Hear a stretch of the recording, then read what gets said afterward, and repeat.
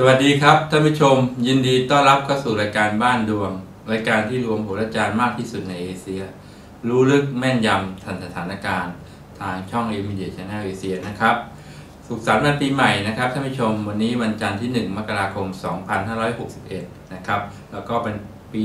นักษัตริย์ใหม่ปีจอด้วยนะครับ ยังไงก็ขอให้ท่านผู้ชมมีโชคมีลาภมีความสุขความเจริญมีความสำเร็จไปตลอดทั้งปี 2561 และปี นักกษัตริย์ปีจอนี้ด้วยนะครับ ก็วันนี้นะครับเป็นอ่าเหมือนเช่นเคยนะครับ เป็นพยากรณ์นะครับรายวันนะครับพยากรณ์วันนี้สำหรับวันนี้นะครับ วันจันทร์ที่ 1 มกราคม 2561 นะครับ เป็นวันพระขึ้น 15ค่ำนะครับอ่าเป็นวันที่ชื่อกันว่าเป็นวัน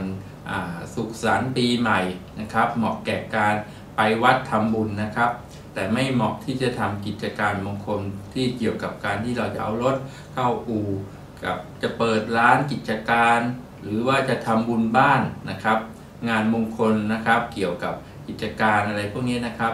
วันนี้ไม่เหมาะนะครับเหมาะในส่วนที่เราจะต้องไปทำบุญสุนทานนะครับเข้าวัดแล้วก็อาจจะอยู่กับครอบครัวนะครับ เป็นวันที่เรา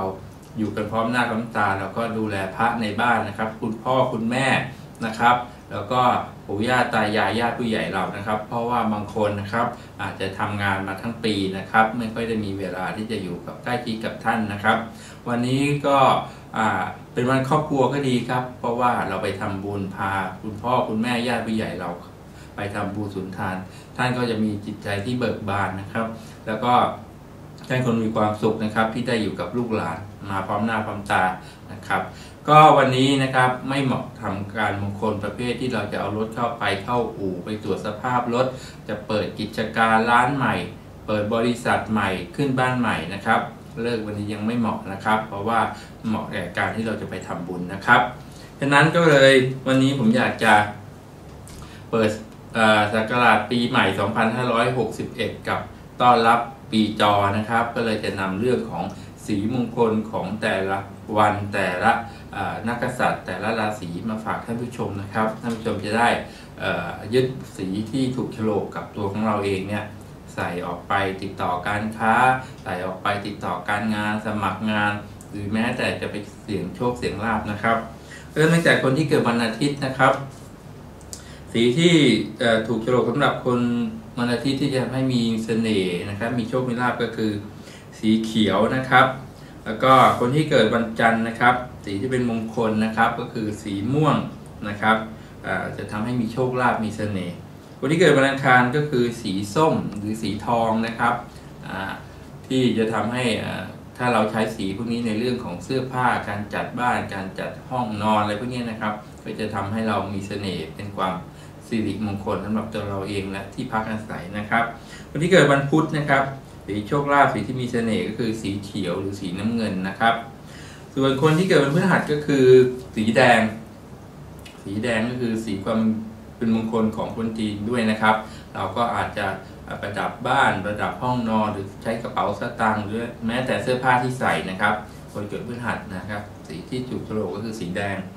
คนที่เกิดวันศุกร์ก็คือสีชมพูนะครับ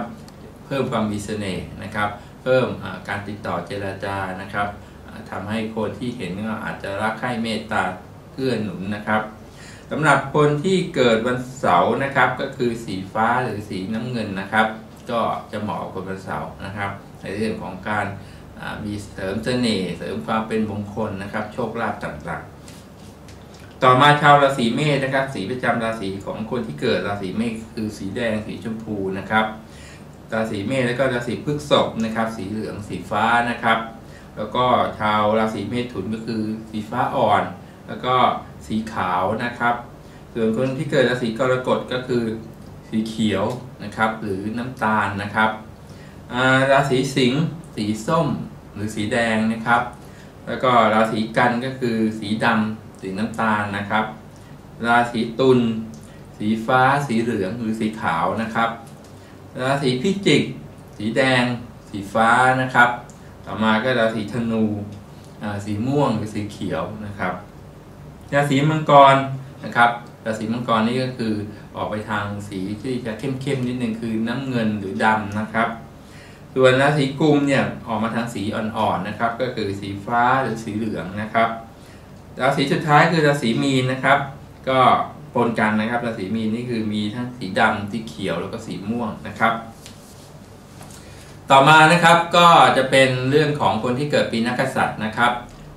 สำหรับปีจอเนี่ยคนที่เกิดปีนักกษัตริย์ทั้งที่สองนักกษัตริย์นะครับสีที่จะนำไปตกแต่งห้องนอน โทนสีที่จะไปตกแต่งบ้านกระเป๋าสตางค์หรือแม้แต่อาภรณ์เครื่องประดับเครื่องแต่งกายนะครับ สิ่งที่ถูกกระโหลกทั้งชาวนักษัตริย์ต่างๆ ซึ่งมีอยู่ 12 นักษัตริย์นะครับสำหรับในปีจอปีนี้นะครับ มาดูกันนะครับว่าปีนักษัตริย์แต่ ละปีเนี่ยควรที่จะเลือกสีที่ถูกจรกสีอะไรบ้างนะครับ คนที่เกิดปีนักษัตริย์ปีชวดนะครับสำหรับสุภาพบุรุษนะครับ ควรสวมใส่สีครีมหรือสีฟ้ากระเป๋าสตางค์หรือแม้แต่การจัดบ้านการจัดมุมห้องหรือผ้าปูที่นอนหรือห้องหรือของใช้ส่วนตัวที่เราชอบนะครับท่านสุภาพบุรุษก็คือสีครีมหรือสีฟ้า ส่วนท่านสุภาพสตรีที่เกิดปีชวดนะครับ สีเขียวหรือสีม่วงนะครับ ต่อมาก็คือนักกษัตริย์ปีฉลูนะครับสุภาพบุรุษก็สีที่เหมาะคือสีครีมหรือสีขาวนะครับ สุภาพสตรีก็คือสีชมพูหรือสีแดง นักกษัตริย์ปีขานนะครับ สุภาพบุรุษที่เกิดปีขานนะครับ สีที่ถูกฉลกก็คือสีขาวหรือสีเหลืองนะครับ ท่านสุภาพสตรีคือสีม่วงหรือสีน้ำตาลนะครับ ต่อมาคือปีเถาะนะครับสุภาพบุรุษที่เกิดปีเถาะก็คือสีที่ถูกฉลกนะครับ สีเขียวอ่อน สีฟ้าอ่อนนะครับท่านสุภาพสตรีปีเถาะก็คือสีเหลืองหรือสีม่วงนะครับ ต่อมาก็คือปีมะโรงนะครับสุภาพบุรุษที่เกิดปีมะโรงก็คือสีครีมหรือสีเทานะครับ ต่อมาคือท่านที่เกิดสุภาพท่านสุภาพสตรีต่อมานะครับขอโทษนะครับ ต่อมานะครับ ท่านที่เกิดปีมะโรงนะครับ สุภาพบุรุษที่เกิดปีมะโรงก็คือ สีครีมหรือสีเทานะครับ สีที่ถูกฉลก ท่านสุภาพสตรีที่เกิดปีมะโรงก็คืออสีส้มและสีแดงนะครับ จะเป็นสีที่ถูกฉลกนะครับ ปีมะเสงสุภาพบุรุษที่เกิดปีมะเสงก็คือ สีขาวและสีครีมนะครับท่านสุภาพสตรีก็สีเทาหรือสีฟ้านะครับ ต่อมาก็คืออปีมะเมียนะครับ ท่านสุภาพบุรุษก็คือสีขาวหรือสีครีมนะครับส่วนท่านสุภาพสตรีก็คือสีเขียวและสีฟ้านะครับปีนักษัตริย์ปีมะแม่นะครับ ท่านสุภาพบุรุษที่เกิดปีมะแม่นะครับ สีที่ถูกฉลกก็คือสีฟ้าและสีเขียวอ่อนนะครับ ส่วนท่านสุภาพสตรีปีมะแม่ก็คือสีเหลืองหรือสีส้มนะครับ ก็ต่อมาก็คือปีนักษัตริย์ปีวอกนะครับ ท่านสุภาพบุรุษที่เกิดปีวอกก็คือสีครีมหรือสี สีครีมหรือสีเหลืองอ่อนนะครับ ส่วนท่านสุภาพสตรีก็คือสีแดงสีชมพูนะครับ ต่อมาก็ถึงท่านที่เกิดปีละกาแล้วนะครับ ท่านสุภาพบุรุษที่เกิดปีละกาก็คือ สีครีมหรือสีขาวนะครับ ท่านสุภาพสตรีก็คือสีเหลืองหรือสีน้ำตาลนะครับสำหรับท่านที่เกิดปีจอนะครับ สุภาพบุรุษควรเลือกสีเหลืองอ่อนหรือสีเทานะครับ ส่วนสุภาพสตรีก็คือสีน้ำตาลหรือสีส้มนะครับ ปีนักษัตริย์ปีกุลนะครับ ปีสุดท้ายนะครับทุกท่านสุภาพบุรุษนะครับ สีที่ถูกโฉลกที่เราจะนำไปนะครับ ใส่เป็นโทนสีเสื้อผ้า กระเป๋าสตางค์หรือการจัดมุมบ้านใหม่นะครับ ก็คือสีครีมหรือสีเหลืองอ่อนนะครับ ส่วนท่านสุภาพสตรีนะครับ คือสีชมพูหรือสีส้มครบแล้วนะครับสำหรับคนที่เกิดแต่ละวันนะครับ ท่านที่เกิดทั้ง 12 ราศีและท่านที่เกิดปีนักษัตริย์ต่างๆนะครับ นี่คือสีในโทนนี้ที่เป็นปีมงคลนะครับ ที่นำมาฝากท่านผู้ชมว่าโทนคือจะใกล้เคียงกันนะครับ เพราะว่าเลือกสีที่เป็นมงคลสำหรับเหมาะกับเป็นสีที่มันจะถูกฉลกกับทุกๆคนนะครับ เข้ากับทุกๆคน ในเรื่องของความมีเสน่ห์ในเรื่องของโชคลาภในเรื่องของการที่เราจะไปติดต่อเจราจาการพูดจา หรือแม้แต่การเสี่ยงโชคเสี่ยงลาภนะครับสำหรับวันนี้นะครับวันจันทร์ที่ 1 มกราคม 2561 แล้วนะครับขอไวยพรให้ท่านผู้ชมนะครับ ประสบความสำเร็จทั้งปีในเรื่องของหน้าที่การงาน ในเรื่องของครอบครัว ความรักสุขภาพนะครับรวมไปถึงเรื่องโชคลาภด้วยนะครับให้ท่านผู้ชมของผมที่ชมรายการอยู่ก็ขอให้ท่านมีความสุขมากๆนะครับ คิดสิ่งใดก็สมความปรารถนานะครับสำหรับวันนี้นะครับ